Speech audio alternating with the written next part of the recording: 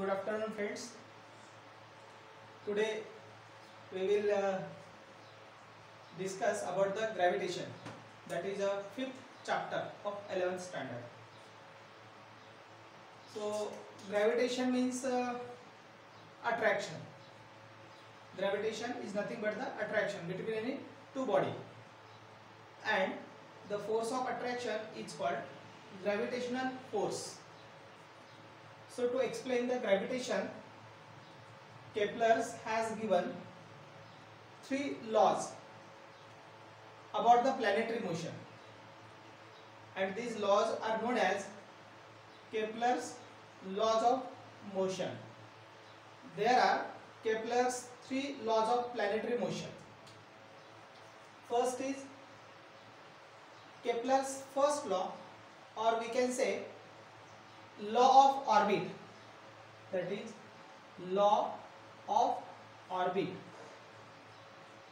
This law states that every planet revolve around the sun in elliptical orbit with sun as one of the foci of elliptical orbit. That is every planet revolve in elliptical orbit with sun as one of the foci of ellipse now suppose this is elliptical motion means ellipse. This is major axis. This is minor axis. Suppose this s dash and this s be the two foci of this ellipse.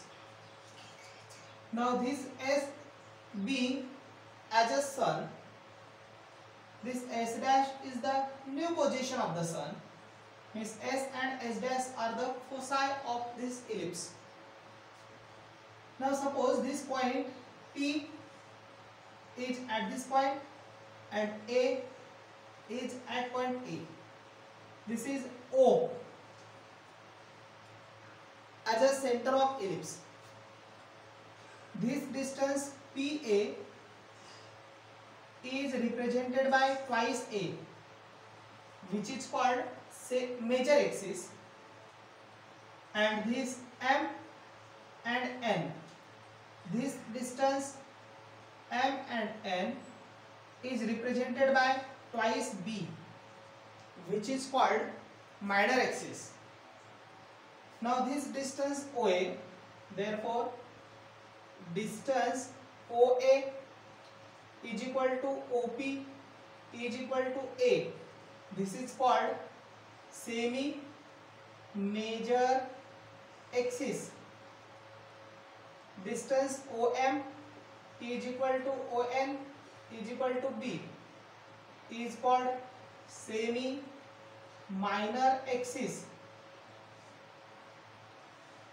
Now as we see this diagram then suppose P is the planet and this planet is revolving in elliptical orbit round the sun where this sun as one of the foci of this ellipse. This point P means planet P is near the sun. When the planet is at position P and it is very close to the sun, near to the sun. And this position is called perihelion.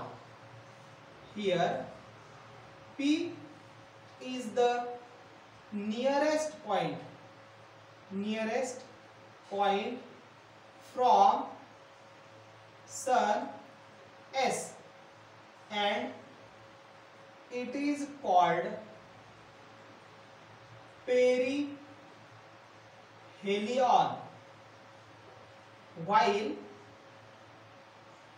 point A, this point A is the farthest point from sun S. And it is called this point A is called aphelion.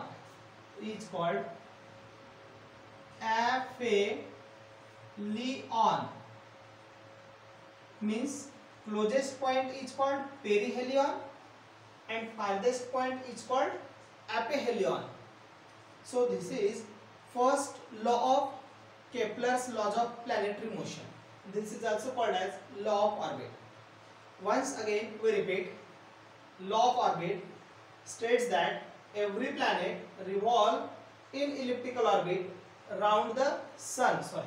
Every planet revolve in elliptical orbit round the sun with sun as one of the foci of ellipse.